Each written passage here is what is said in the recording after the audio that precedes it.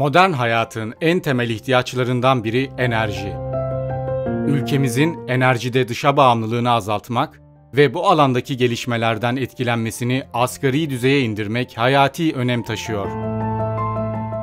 Aksi durum dışa bağımlılık ve ekonomimize yük oluşturacağı için devletimiz tüm kaynaklarını bu kritik öneme sahip alanda gereken adımları atmak için sürekli olarak yönlendiriyor. Devletin bu yöneliminin en net şekilde ifade edildiği program Milli Enerji ve Maden Politikası olmuştur. Burada ifade edildiği üzere arz güvenliği, yerlileştirme ve öngörülebilir piyasa çok önemli ve temel hedeflerdendir. Bu hedeflere ulaşabilmek, enerji bağımsızlığına ulaşmak için çok büyük önem taşımaktadır. Memleketimizin hidrokarbon kaynaklarını açığa çıkarmak ve milletimizin hizmetine sunmak hedefiyle 1954 yılında kurulan Türkiye Petrolleri Anonim Ortaklığı, karada ve denizde gerekli çalışmaları yürütmek için görevlendirilmiştir.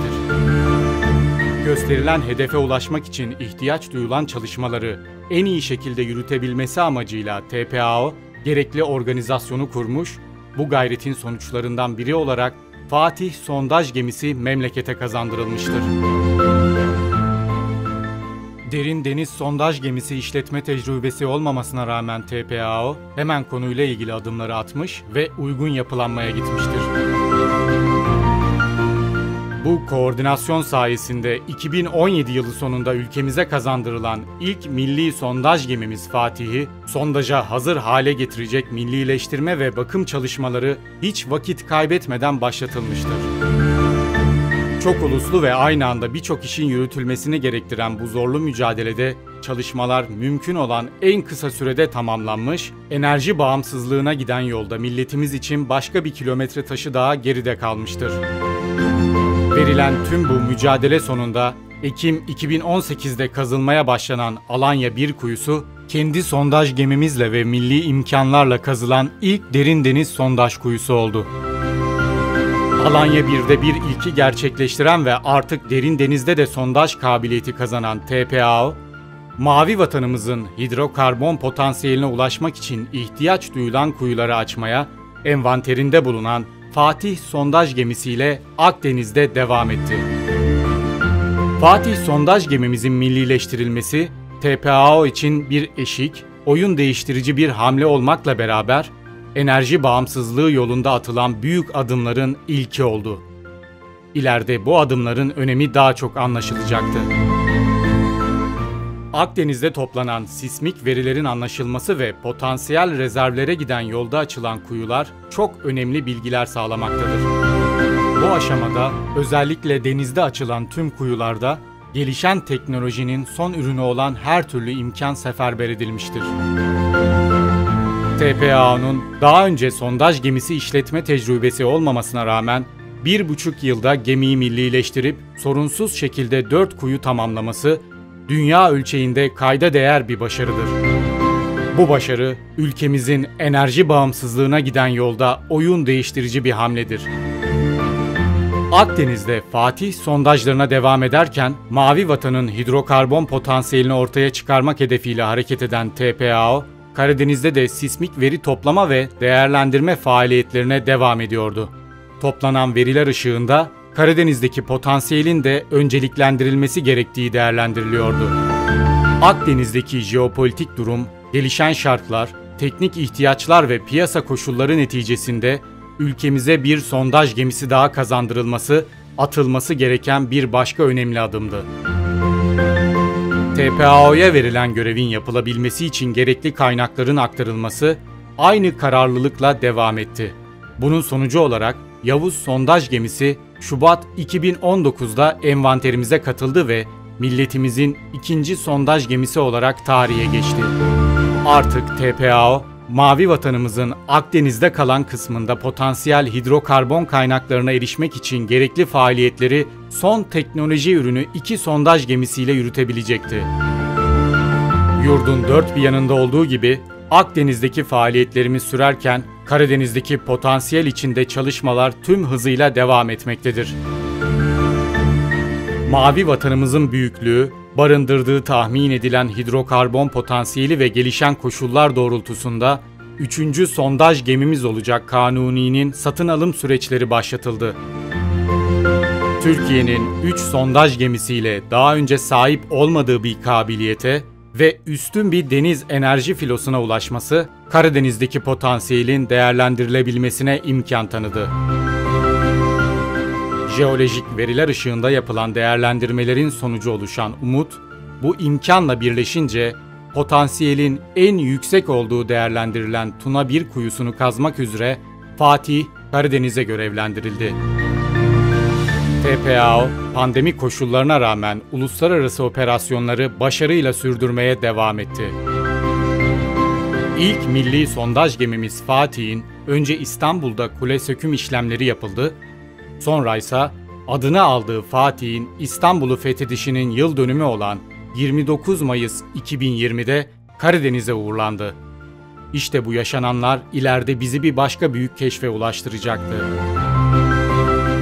Fatih, Karadeniz'e geçtikten sonra kule montajı hızla tamamlandı ve Tuna 1'e hareket etti. Tuna 1'de açılacak 4200 metre derinliğinde kuyunun sondajına Fatih sondaj gemimiz 20 Temmuz 2020 tarihinde başladı. Öncelikle sismik verilerin doğrulanmasını ve olası rezerve ulaşmasını amaçlayan sondaj sırasında yer altındaki yapıların anlaşılması için teknolojinin tüm imkanları kullanıldı. Hatta yeni teknoloji ürünü bir ekipman ilk defa bu kuyuda denenmiştir. Açılan kuyudan toplanan veriler Tuna 1 kuyusunda tarihimizin en büyük keşfinin habercisi oldu. Zorlu mücadele sonunda ulaşılan rezerv ve yapılan bu büyük keşif Ağustos ayında geldi. Bağımsızlık mücadelemizin zafere dönüştüğü ay da Ağustos'tu. Bunca emek verilerek azim ve kararlılık sonucunda gerçekleşen bu büyük keşif 100 yıl önce bağımsızlık için verilen mücadele ve elde edilen zaferle aynı temele dayanmaktaydı. Enerji bağımsızlığı için verilen mücadelenin keşifle taçlandığı ve zafere dönüştüğü bu saha, adını milletimiz için en önemli dönüm noktalarından biri olan Sakarya Zaferi'nden aldı. 21 Ağustos 2020'de açıklanan Fatih'in keşfettiği 320 milyar metreküplük doğal gaz rezervi Tuna 1 kuyusundaki sondajında hamdolsun 320 milyar metreküp doğal gaz rezervi keşfetmiş durumda. 2020 yılında dünyada keşfedilen en büyük ikinci keşif olmasının ötesinde tarihimizin en büyük hidrokarbon keşfi olarak tarihe geçti. Sondaj sırasında toplanan verinin değerlendirilmesiyle kuyunun uzatılması ve daha derinde yer aldığı düşünülen kısma ilerlenmesine karar verildi. Bu karar neticesinde ulaşılan ek rezerv 85 milyar metreküp büyüklüğündeydi. Keşfettiğimiz rezerve 85 milyar metreküp daha ilave edildi. Böylece Sakarya sahasının Tuna 1 bölgesindeki toplam doğalgaz rezervi miktarı 405 milyar metrekübü buldu. İlk milli sondaj gemimiz Fatih, Karadeniz'de kazdığı ilk kuyu olan Tuna 1'de toplam 405 milyar metreküp doğal gaz rezervine ulaşmış oldu.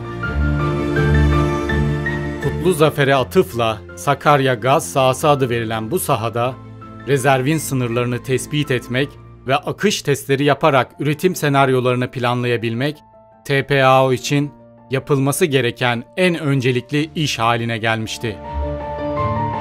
Bunu gerçekleştirmek üzere Fatih, bir başka ilki gerçekleştirmek için yeni hedefine yöneldi. Fatih, milli imkanlarla derin denizde kazılacak olan ilk tespit kuyusu Türk Ali 1'e hareket ederken, Kanuni de keşfedilen bu büyük sahada görev yapmak üzere Karadeniz'e görevlendirildi. 13 Kasım 2020'de İstanbul'dan uğurlanan Kanuni, alt tamamlama ve akış testlerini gerçekleştirmek üzere gereken hazırlıkları yapabilmek için Filyos'a gitti. Hazırlıkların sona ermesiyle Mayıs 2021 tarihinde Filyos'tan hareket eden Kanuni, milli imkanlarla yürütülecek ilk uzun akış testini yapacaktı.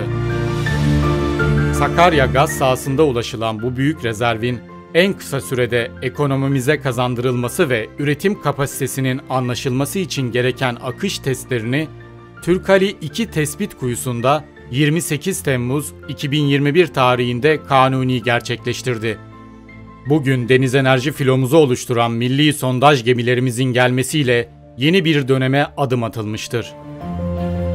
1954'ten beri ülkemizin hidrokarbon potansiyelini milletimizin hizmetine sunmak için çalışan TPAO, enerji bağımsızlığına giden yolda tüm sahalarda çalışmaya aynı azim ve kararlılıkla devam edecektir.